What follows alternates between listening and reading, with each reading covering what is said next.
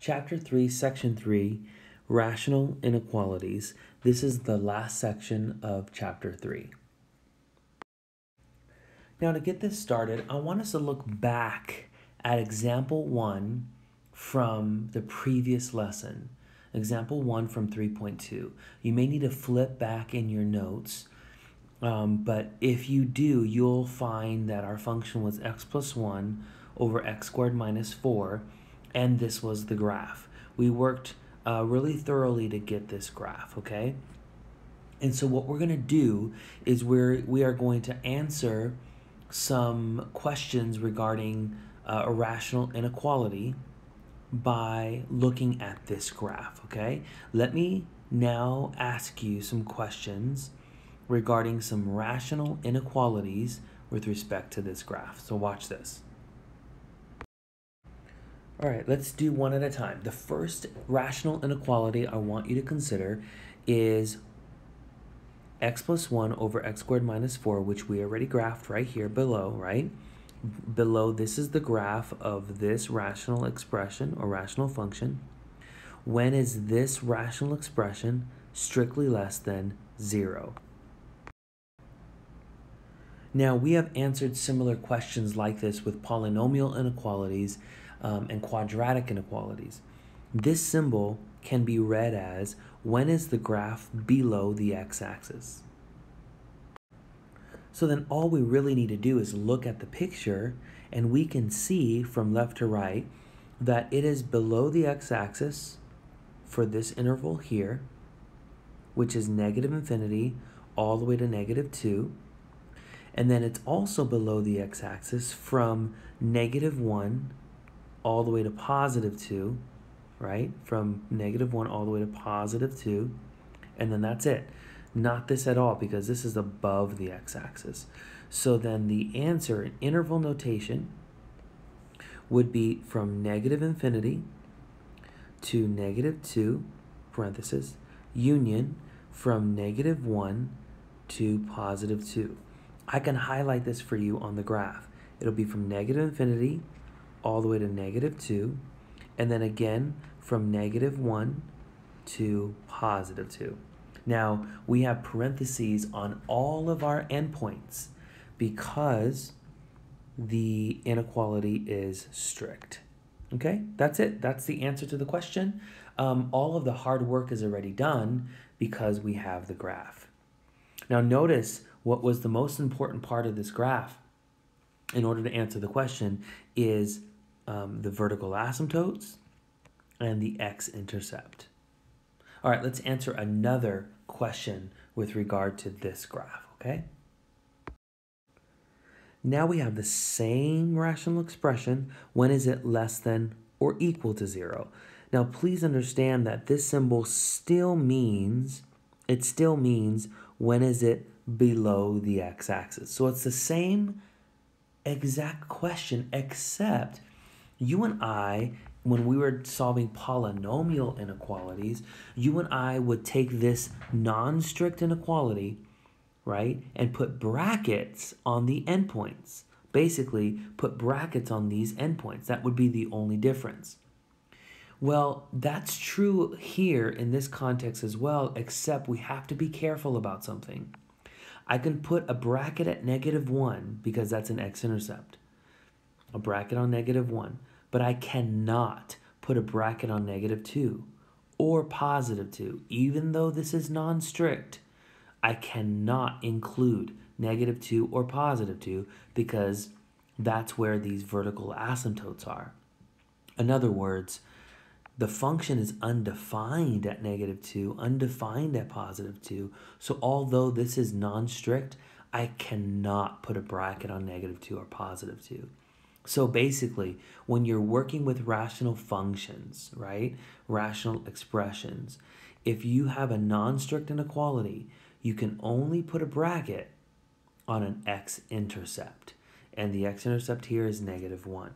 So the answer here is the same as before. The only thing that is changing then is there's a bracket on your x-intercept of negative 1 all right? So this inequality would only change the bracket on negative 1, or the, the, the symbol, right? The symbol on negative 1.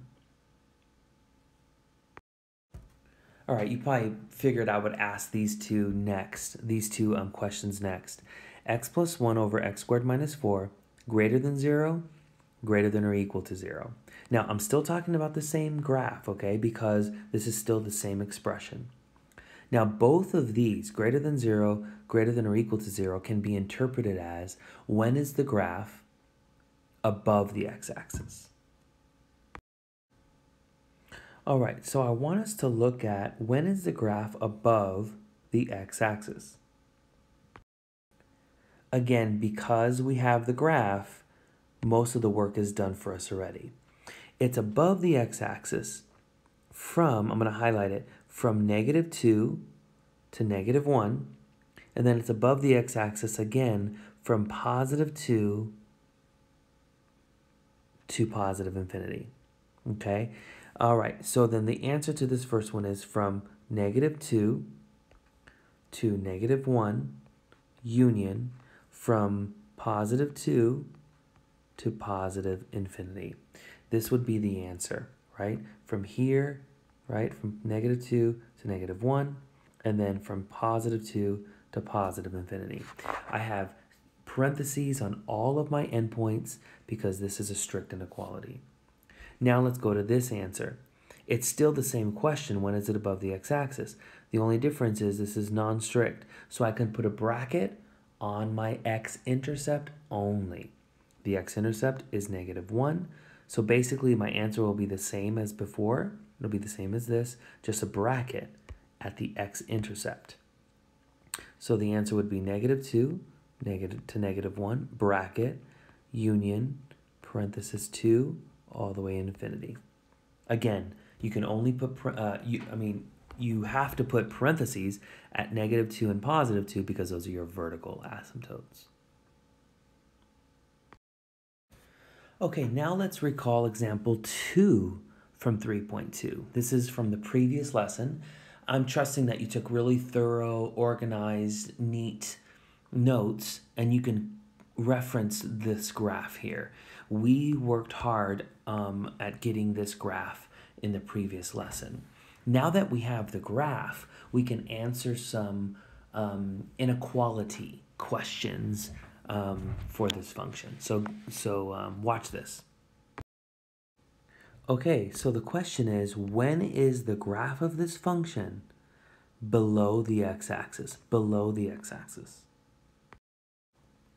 All right, I'm going to highlight it, it for us. It's below the x-axis from the x-intercept of 4 thirds um, all the way to, it's getting infinitely close to this vertical asymptote, which is happening at x equal to negative 1 half. So it's below the x-axis from negative 1 half, because this is approaching negative 1 half, all the way to 4 thirds. Now, because this is non-strict, I can put a bracket on my endpoint as long as the endpoint is an x-intercept. I cannot put a bracket on a vertical asymptote. So it'll be from negative 1 half, let's put a parenthesis there, all the way to 4 thirds, let's put a bracket on 4 thirds. So from negative 1 half all the way to 4 thirds, let's put a bracket on 4 thirds because this is a non-strict inequality. I want you to notice again what were the key features, the, the, the important features of our graph in order to answer the question. And this is the, what we're about to say was also true in the previous question. The important features of our graph that helped us answer this question and give the answer in interval notation were two things, the vertical asymptote and the x-intercept. So it seems as if when you are solving a rational inequality, all we really need from the graph are those two things. What are your vertical asymptotes? And what are your x-intercepts? What are your vertical asymptotes? What are your x-intercepts? At these two locations in the graph, a vertical asymptote or an x-intercept. Those are the two locations in the graph where you're going from being below the x-axis, watch this, to being above the x-axis. An x-intercept, you're below the x-axis, and then you are above the x-axis. Below the x-axis, now you're above the x-axis. It's at x-intercepts where you transition from being negative to being positive. A vertical asymptote as well. You transition from being positive to being now negative down here. So from now on, when we solve a rational inequality, all we really need to do is find the vertical asymptotes and the x-intercepts, and then we can answer the questions. All right, check this out, everybody. Solve this rational inequality. 2x squared over x squared minus x strictly greater than 0. Now, let me be very clear.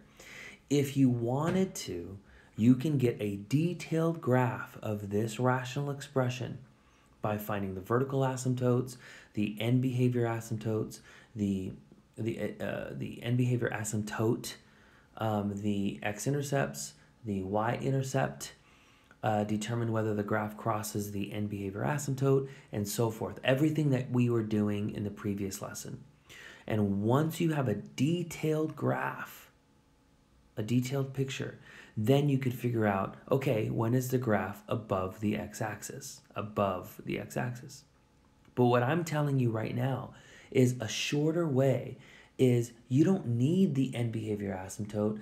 You don't need the y-intercept. All you really need is what are the vertical asymptotes and what are the x-intercepts? With those two pieces of information, I can figure out when is this graph above the x-axis. All right, now you're going to want to be careful here with this rational expression. It can be factored, right? The denominator as x times x minus 1. Correct, everybody?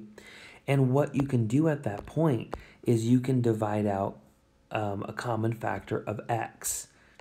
So then that would give you uh, 2x over x minus 1 is strictly greater than 0. Okay? And so what you want to do is be careful um, because now when I find my vertical asymptote, right? I'm referencing I'm referencing this simpler expression and I'm going to take its denominator which is x minus 1 I'll set it equal to 0 and solve and I see that I only have one vertical asymptote, x equal to 1. Now, let's not forget what we learned in the previous lesson, and that is whenever there is a common factor that divides out, like in this example, uh, the x is divided out, then that means there's a hole in the graph. Now, the common factor that got divided out was x, wasn't it? So take that common factor that got divided out, set it equal to 0, and you can see right away, oh, there's a hole in this graph when x is equal to 0. Now, when I plug this value in, right, um, I will find out the ordered pair at which there is a hole. So here I go, I'm to plug it in, all right? So I have 2, I'm plugging in 0 there and there. So I'm going to have 2 times 0 over 0 minus 1. This is just 0 over negative 1, which is 0. So in other words, 0 comma 0, which is the origin, that's the origin, there is a hole in your graph, which means uh, the function is undefined the function's undefined when x is 0. That's very important. Okay, so I told you that really all you needed was the vertical asymptotes and the x-intercepts to solve this equation, or to solve this inequality, excuse me. So now let's find the x-intercepts, okay? Now you find your x-intercepts by taking your numerator which is simply 2x. And you set your numerator equal to 0 and you solve. When you divide both sides by 2, you get x equal to 0. So your x-intercept is the origin. Wait a minute, that's where the hole is. So the graph is going through the origin, but at the origin, there's a hole, which means the function is undefined at that location, okay? I'm gonna go ahead and box that. But don't forget, this is also where the hole is, all right? Okay, watch this, everybody. Here's your x-axis, all right? You know that there's an x-intercept at uh, 0. So there's 0. And then you know there's a vertical asymptote at x equal to 1, okay? What this does, it splits your, it splits your um, x-axis into three intervals, here, here, and here. There's three different intervals here, right? What I want you to do is choose a value from each of these intervals, and I want you to plug it into your function. Now, don't forget your function is 2x over x minus 1. And the question is, when is it above the x-axis? All right? So here we go. Choose a number, please, that is less than 0. How about negative 1? So that's one test point. And then choose something between 0 and 1. How about 1 half? And then something greater than 1. How about 2? It can be anything greater than 1. It doesn't have to be 2. It doesn't have to be negative 1. Anything less than 0, okay?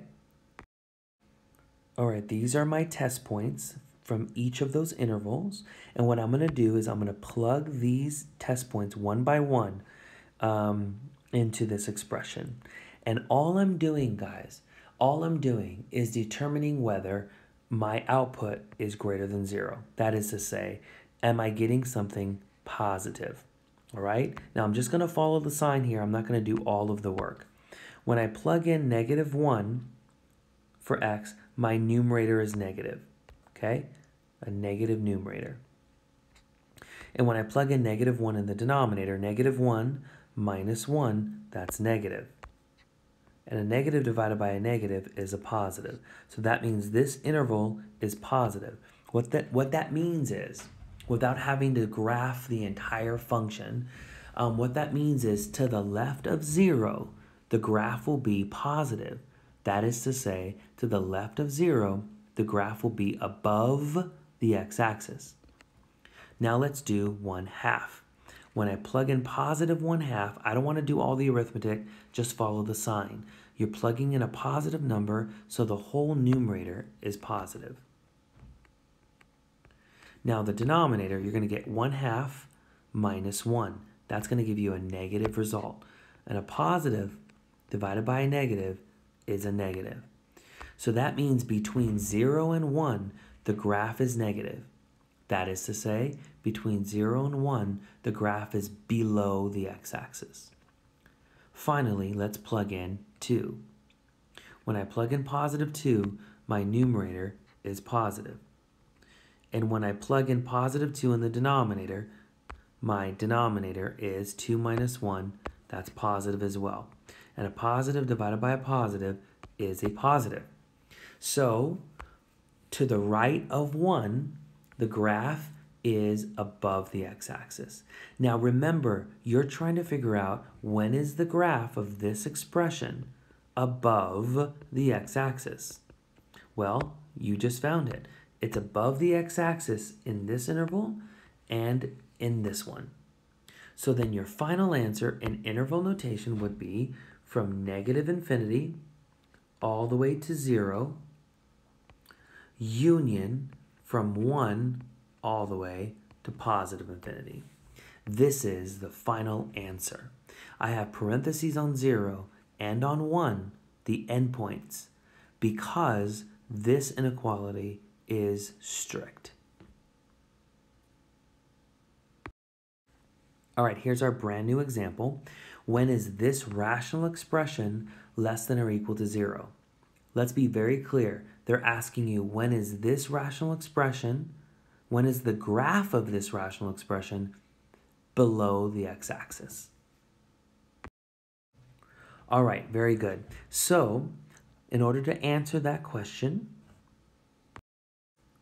let us find two things, vertical asymptotes and x-intercepts. Now, there won't be any holes in this graph this time around, so it'll be a little less work, okay? Um, and there's no holes in this graph because there are no common factors between the numerator and denominator, even after you factor, okay? All right, here we go. Let's find our vertical asymptotes, okay?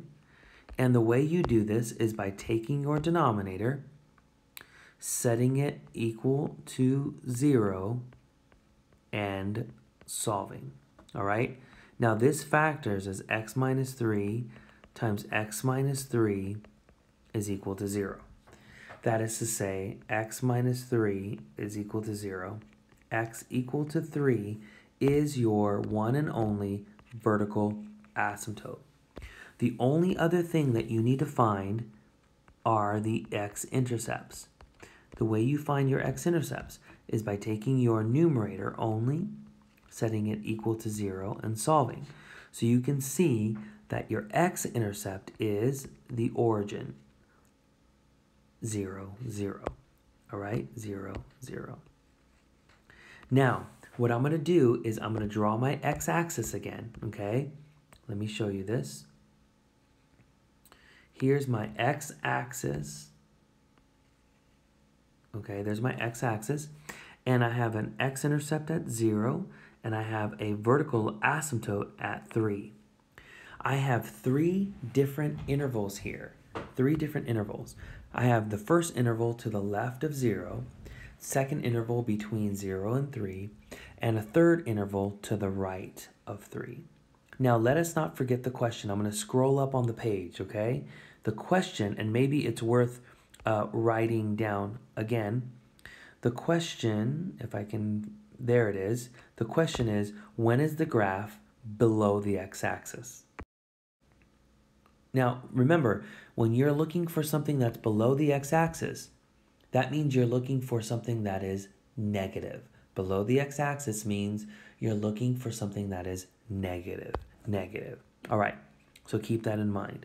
All right, here's our x-axis, and what we want to do is choose a value from each interval. Choose a test point. Any number that's less than 0, any number that's between 0 and 3, and any number that's greater than 3. Okay guys, I've identified three numbers that I would like to choose. I chose negative 1, I chose positive 1, and I chose positive 4. Now, let's keep this in mind. We're going to plug these values into your rational expression. Now, do you remember the rational expression, the denominator factored like this in the uh, when we were finding the vertical asymptotes, we factored the denominator? I can do better than this, everybody. Instead of writing x minus 3 twice like this, I will choose to, no, stay with me, plug my test points into this, x minus 3 quantity squared. Now, remember, remember that you are not doing all of the arithmetic. All you really want to know is, am I getting something negative or am I getting something positive? after plugging in each of these test points. Now, another thing to keep in mind, the denominator is being squared. So I don't care what you plug in for x and then you take 3 away. It doesn't really matter because once you square it, it will always be positive. So the denominator is always positive. All right, here we go. We're going to plug these test points in. Now we just said the denominator is always positive. So I'm going to do that for each one. Positive, a positive denominator. Now when I plug in negative 1 in the numerator, the numerator becomes negative. And a negative divided by a positive is negative, so this interval is negative. Uh, when I plug in positive 1 in for that numerator, um, uh, the numerator is positive. And a positive divided by a positive is positive. Finally, when I plug in positive 4, um, I get a positive over a positive, which again is a positive. Now, let's not forget what it is we were looking for. We were looking for when is the graph below the x-axis. That is to say, when are your outputs, your function values, when is the graph negative? And so it's negative here in that interval only. So therefore, your final answer is from negative infinity all the way to zero. Now, let's be careful here. Should we be putting a bracket or a parenthesis on zero? What do I do? Well, let's look at the original inequality, shall we? The original inequality is up here. There it is. The original inequality is non-strict. That means I, I'm supposed to put a bracket on my endpoint as long as it's an x-intercept, right? You cannot put a bracket on a vertical asymptote. You can only put a bracket on an x-intercept when this is non-strict. Okay, everybody? It's non-strict, so I can put a bracket on my x-intercept. Now, the number I have in my answer is 0. Is 0 a vertical asymptote or is 0 the x-intercept? It's the x-intercept. So because this, excuse me, because um, this is an x-intercept, I can go ahead and put a bracket on that endpoint, all right? So this is my final answer. Okay, everybody? Here's our next one. When is this rational expression greater than zero? When is this rational expression above the x-axis? When is this rational expression positive? So then if this is above the x-axis, so that's how I interpret this, then we're looking for when is the function positive. Keep that in mind. Okay, everybody, we have to find the vertical asymptotes and the x-intercepts. Now, there is no common factor between the numerator and denominator. The denominator doesn't even factor, and neither does the numerator. So let's find the vertical asymptotes and the x-intercepts. All right. The vertical asymptotes are found by taking your denominator, setting it equal to zero, and solving. However, when you solve by subtracting 2 and then taking the square root of both sides, you get plus or minus i root 2. Because these are non-real solutions, these are imaginary solutions, you do not have any vertical asymptotes. Now, your x-intercepts are found by taking your numerator and setting it equal to 0 and solving. So I'm going to add 3 to the right, and then I'm going to divide by 4. So your 1x intercept is 3 fourths. So 3 fourths. Keep that in mind, everybody. 3 fourths. So all I'm going to do is draw my x-axis. And here is my x-intercept. That's it. That's all I have labeled on my x-axis. I don't have any vertical asymptotes. And so what I'm going to do is I'm going to choose a test point from each of these two intervals. I do have two intervals, to the left of 3 fourths and to the right of 3 fourths. So let's choose some test points. Something less than 3 fourths, how about 0? Something greater than 3 fourths, how about 1? Now let's remind ourselves what we're plugging these values into. All right, here is the expression that we're plugging these values into. Now, we're looking for when is it greater than zero, that is to say, when is it positive. Now, keep this in mind, everybody. Um, the denominator will always be positive because you're taking a real number, you're squaring it, so that's going to be a positive answer. And then when you add two more units to a positive answer, this is all positive. So no matter what happens, the denominator is positive. No matter what happens, the denominator is positive. Okay, when you plug 0 in, the numerator is negative because it's 4 times 0, which is 0, minus 3, which is uh, minus. So It's a negative divided by a positive, which is a negative. So then this interval here is negative. Now when I plug in the number 1, I get 4 times 1 minus 3. That's going to end up being positive. And a positive divided by a positive, of course, is positive. Now, do you remember what we're looking for? We're looking for when is the graph positive. So now you can see it's positive in that interval.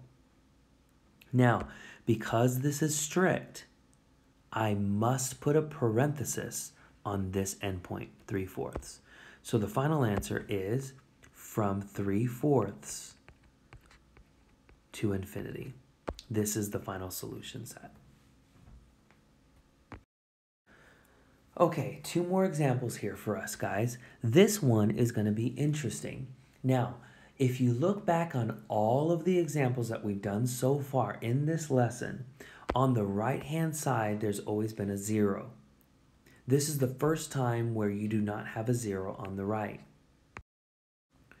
So in order to um, get a zero over here on the right, which is what you want, I'm going to have to move this whole term to the left using subtraction. Okay, so I'm going to subtract that term from both sides, and that will give me 2x over x minus 1 minus x over x plus 1 is strictly less than 0. This is very important, everybody, that you want a 0 on the right-hand side. The next thing you want is you want to combine these two rational expressions to be one rational expression. The only way you can actually combine these two using subtraction is if this, these denominators are the same. So you're going to have to get common denominators here. Notice that your LCD is x minus 1 times x plus 1. So then each of these denominators need to be x minus 1 times x plus 1. So this expression is going to have to be multiplied in the numerator and the denominator by x plus 1. This expression is going to have to be multiplied in the numerator and the denominator by x minus 1. All right, so now, let me move this up for us, shall we? Um, now, the numerator here turns out to be 2x squared plus 2x that's me distributing this 2x here, okay? Um, and then distributing a negative x here gives me negative x squared, be careful with your signs, plus x. And all of this now is over the LCD, and this is less than 0. Now, combining like terms in the numerator gives you 1x squared plus 3x over the LCD. Okay, I'm going to go a step further here and I am going to factor the numerator all the way. So this is x times x plus 3 over x minus 1 times x plus 1, strictly less than 0. All right, everybody, this is what you and I wanted you and I wanted a zero. This is, listen carefully. You and I wanted a zero on the right hand side, and we wanted just one rational expression on the left. Only one term only, and we needed common denominators for that. Okay, so this was definitely more work, right, than the other one so far, okay? You need a zero, and you need one rational expression on the left. Now here we go in order to answer their question, and the question is, when is this rational expression below the x-axis? We need two things, vertical asymptotes, x-intercepts. All right, so less than zero means below the x-axis, which means you're looking for when is the graph negative. Now, the vertical asymptotes, I take my denominator and I set it equal to zero, which means you set each factor equal to zero and solve, and you have two vertical asymptotes, one and negative one. The other thing that I need are the x-intercepts. Now, I find the x-intercepts by taking my numerator, setting that equal to zero, and solving. So then when I take my numerator and equal, set it equal to 0 and solve, I find two x-intercepts, 0 and negative 3. Now let's be very clear as to what's an x-intercept and what's a vertical asymptote, all right? So here we go. We're going to remember that we're looking for when is the below the x-axis, we're looking for negative values, negative, okay? Keep that in mind. Um, also keep in mind this expression because this is what we're going to plug our test points into. All right, here we go. Here is my x-axis. All right, everybody, here's my x-axis, and I have my important points here. A lot of times we call these critical values or critical points. Um, just a reminder here, this is an x-intercept, this is an x-intercept, and then negative 1 is a vertical asymptote, positive 1 is a vertical asymptote. What we're going to do is we're going to choose a test point from each of these five intervals, five intervals. We're plugging them into this expression, follow the sign, and see what uh, when the graph is less than zero. That is to say, when is it negative? Okay, everybody, that's our goal. When is it negative? All right, everybody, I chose my test points. Now, keep in mind, you can choose whatever test points you want as long as the test points are in these intervals, okay? And they're not these critical points that we have here, okay? So I chose negative 4, I chose negative 2, I chose negative 1 half, I chose positive 1 half, and I chose positive 2. I'm plugging each of these values into this expression and following the sign. All right, here we go. When I plug in negative 4, this first factor is negative. This second factor, negative 4 plus 3, will become negative. So you'll have a negative followed by another negative, and in the denominator, you'll have, after plugging in negative 4, you'll have this, is, this will be negative, and so will this one. Okay, I'm not even going to do all the arithmetic. I'm just following the sign. So two negatives in the numerator, two negatives in the denominator. This will all turn out to be positive, will it not? All right, so this is positive. That means to the left of negative 3, the graph will be above the x-axis. Let's go for negative 2 now. Plug negative 2 right here. This will be negative. And when you plug negative 2 in here, this will be positive. Negative and then a positive.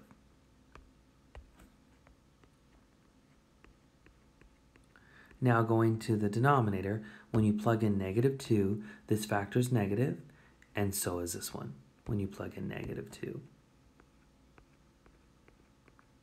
Count how many negatives you have. You have three negatives, one in the numerator, two in the denominator. An odd number of negatives means the whole fraction will end up being negative. So between negative 3 and negative 1, the graph will be below the x-axis. All right, now let's plug in negative 1 half. The first factor, now I'm talking about this, the first factor, the second factor, and then the factors in the denominator, okay? So the first factor will be negative. The second factor in the numerator will be positive, right? The denominator will give you a negative factor followed by a positive factor. I count two negatives, so this whole fraction will be positive. Now we're plugging in positive 1 half. When I plug in positive 1 half, the first factor is positive. The second factor is positive. Downstairs in the denominator, you'll have something negative followed by something positive. This whole thing will be negative. So then between 0 and 1, the graph dips below the x-axis. Finally, let's plug in the number 2. The first factor will be positive. The second factor will be positive. The factor down here will be positive, and this will be positive. So all positive. Cool. So we didn't we did not have to graph this entire function in order to figure this out. Now remember you're looking for when is the graph below the x-axis, that is to say, when is it negative. So then the intervals you're looking for are this interval and this interval. Now, because this is strict, because this is strict, you have to put parentheses on all of your endpoints. Parentheses on all of the endpoints. Hey, by the way, if this inequality was non-strict, watch this. Can you watch me do this? If it were non-strict, it's not right now, but I'm just saying, if it were non-strict like this, you could put a bracket, but only on the x-intercepts. Only on the x-intercepts, which are negative 3 and 0, right? You would still put a parenthesis on negative 1 and positive 1 on the vertical asymptotes. But in this problem, your inequality is strict, so everybody gets a parenthesis. Therefore, this would be your final answer. All right, everybody? The graph is below the x-axis between negative 3 and negative 1 and between 0 and positive 1. And we did not have to graph the entire function in order to figure that out. All right, we made it to the last example. Um, it's x plus 3 over x minus 2 is greater than or equal to 1. Now, just a reminder, we don't want a 1 over there. We want a 0. So what I'm going to do is I'm going to subtract 1 from both sides so that I can get a 0. All right? When I subtract a 1 from both sides, I get x plus 3 over x minus 2 minus 1 is greater than or equal to 0. Now, that's good. That 0 is good. But what I need to do now is combine these two expressions so that I only have one rational expression, not two. Okay? So notice that the LCD is x minus 2. So what I'm going to do is I'm going to rewrite the number 1 as a fraction whose denominator is x minus 2. So in other words, I'm going to rewrite the number 1 I'm going to rewrite the number 1 as x minus 2 over x minus 2. After all, Whenever you divide an expression by itself, that's 1. So all of this is 1. Okay? And now the denominators match. So now I can combine these two and say, eh, we got to be careful here. With See this negative? It has to be distributed. Let me write that down, or at least show it. Distribute that negative. Man, that's so important. Be careful. So this becomes x plus 3 minus x plus 2 all over x minus 2 greater than or equal to 0. Let me move this up. This leads us to, um, oh, notice the, do you guys see it? I just saw it right now. These x's cancel. And so all you're left with in the numerator is the number 5 over x minus 2 greater than or equal to 0. Man, that seems pretty convenient, right? So let's focus on this. Now this is what we worked hard to get. A zero on the right and only one fraction or rational expression on the left. Now, what we need are the vertical asymptotes and the x-intercepts. Now let us not forget that greater than or equal to means above, uh, greater than or equal to zero means above the x-axis which means you're looking for when is the graph positive. That's very important.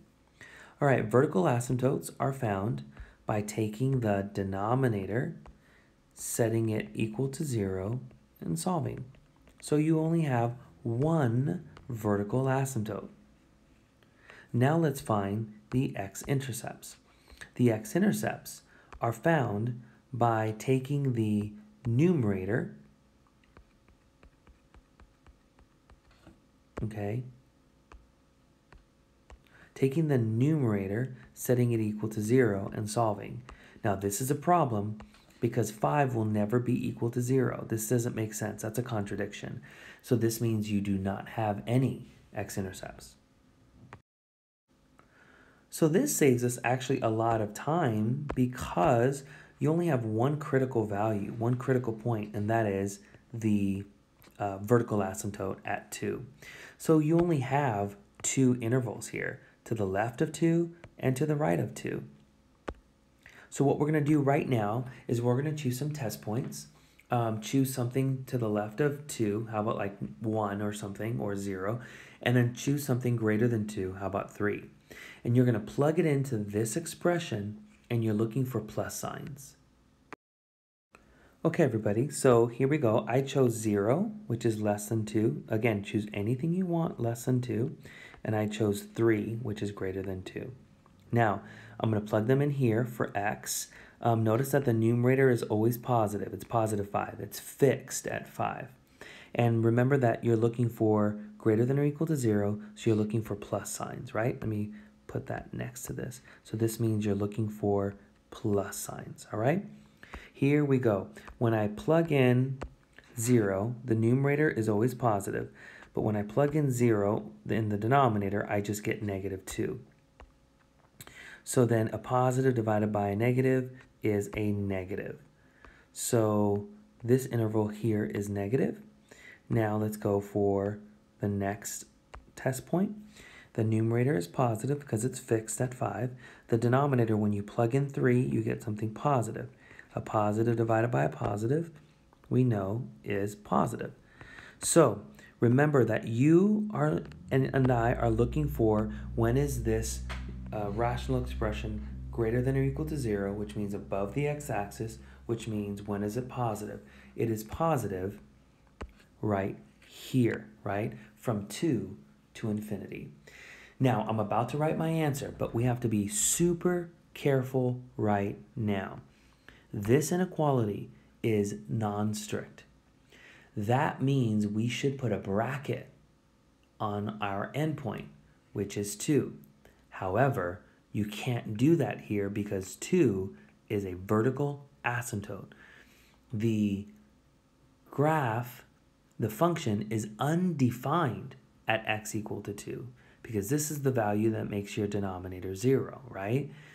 So you have to put a parenthesis on 2, even though this is non-strict. You could have put a bracket on 2 if it were an x-intercept, but it's not. You don't have any x-intercepts.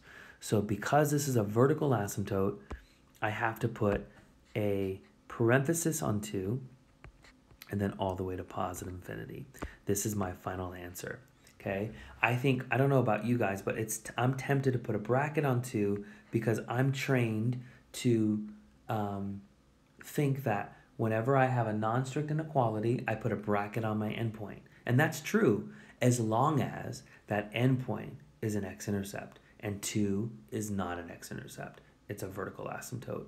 You always put parentheses regardless regardless of this inequality symbol you always put a parenthesis on your vertical asymptote. Okay, this is the last um, example, and this is the answer for it, all right? I hope you learned a lot. I hope that the big takeaway here is that when you're solving a rational inequality, all you need are the x-intercepts and the vertical asymptotes. And then you just choose test points from each interval and follow the sign. All right, everybody, this completes this lesson, and it also completes chapter 3. I'll catch you later in chapter 4.